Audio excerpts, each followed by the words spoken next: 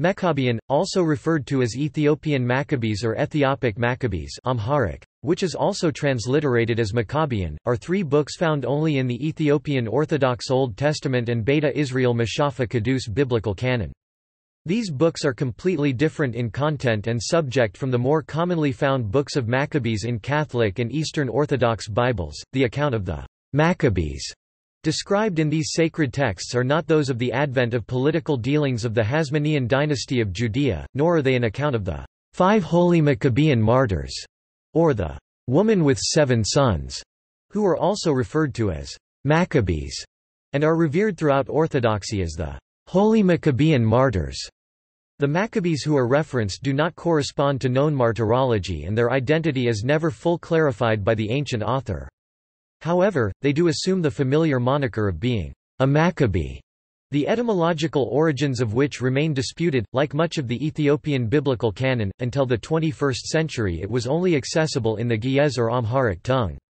There are now three potential translations available into contemporary English that are accessible to the general public. Despite this, there is still currently no significant academic scholarship available on its origins.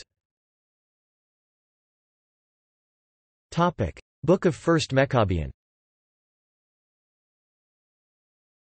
The text has 36 chapters in total, and gives the account of two separate revolts against Seleucid rule over Judea. The first account begins by stating that there was an idol-worshipping king of Media and Midian who is devoted to the cult of his idols. Unlike the more familiar narrative found in the books of Maccabees, his name is given as Sarusadon, this appears as a folk memory of the historical Seleucid king Antiochus IV Epiphanes, who held court at the Phoenician cities, after he began minting coins with the names Tyre and Sidon. Tsuru Sadon stamped in Punic alongside his image. According to this book, a certain man from the territory of Benjamin called Maccabees had three sons Abia Amharic, Abijah, Sela Amharic, Shelah, and Pantos Pantera, who opposed the tyrannical policies of the king and refused to worship his idols. Their account consumes only a short section of the book, spanning chapters 2 through chapter 5. They are noted elsewhere in the hagiographical text of the Ethiopian Synaxarion, and hold a feast day within the Ethiopian Church. A second group of brothers are later introduced in chapter 15.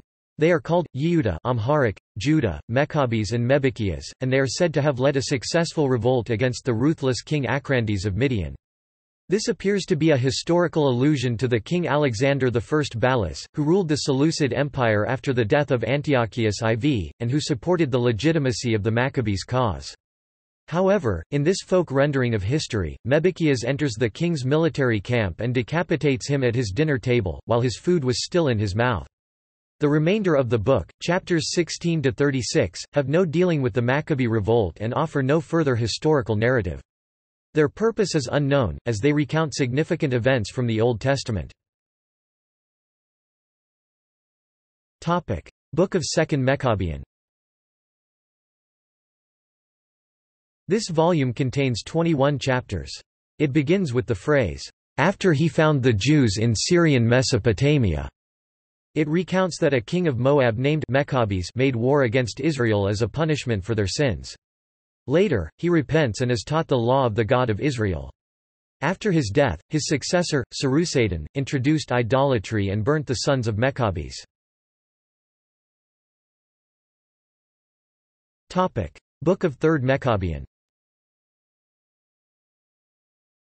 The shortest of these books is Third Meqabyan, which contains ten chapters. It begins, "...and the islands of Egypt shall rejoice." It is a diffuse account of salvation and punishment, illustrated from the lives of various biblical patriarchs, such as Adam, Job, and King David. At times, within the liturgical practices of the Ethiopian Church, the second and third books of Meqabyan are collapsed to form a single text. English translations Online edition, albeit in Eyarik style Selassie, Fekade Ethiopian Books of Meqabyan 1–3, in Standard English, 2008, Lulu Press Inc., Raleigh, N.C. Curtin, D.P. The First Book of Ethiopian Maccabees, 2018, Dalcassian Publishing, Philadelphia, PA Topic. Notes Topic. External links